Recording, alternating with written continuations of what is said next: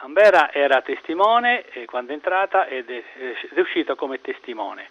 È stata molto esauriente, molto precisa nella descrizione delle varie circostanze. Eh, il pubblico ministero, la dottoressa Lilliu, è partita dall'inizio della relazione tra Lambera e il suo fidanzato dell'epoca Igli e ha descritto con, con dovizia di particolari tutti gli eventi della domenica e del lunedì. Gli avvocati di parte hanno fatto le loro domande, gli stessi indagati che erano in un'altra stanza della caserma dei carabinieri di Urbino hanno fatto le loro contestazioni a cui la Testi ha puntualmente risposto. Ambera e... però era a conoscenza del delitto?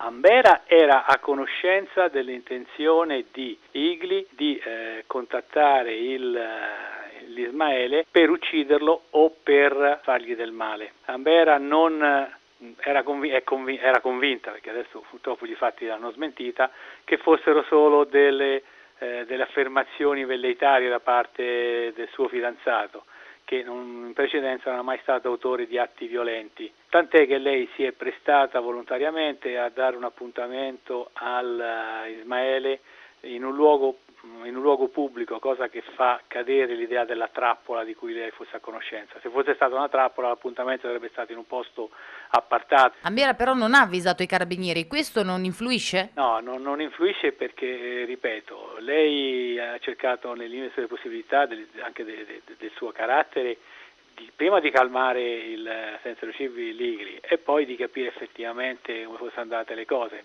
Una, una volta che eh, l'abbiamo sentita subito a, a, dichiara, ha fatto dichiarazioni utili a, di venire a scoperta dei responsabili. È stato riportato da alcuni giornali il, fatto, il dubbio se l'Ismaele fosse stato costretto a salire sull'auto magari da più di una persona. Che cosa è successo? Abbiamo ricostruito che Ismaele ha ricevuto l'appuntamento all'1.30 dalla Ambera di presentarsi alle 2 alla stazione delle Corriere. Che cosa, che cosa ha fatto? Una volta che l'Ismaele ha visto non arrivare la Ambera ma arrivare il suo fidanzato, nel timore che nel frattempo lei arrivasse e lui potesse vedere effettivamente questa, uh, questo fatto di incontrarli assieme nello stesso luogo, ha preferito salire subito in macchina, allontanarsi il più lontano possibile proprio per evitare questo incontro inopportuno. Questa è una cosa che abbiamo ricostruito oggi proprio.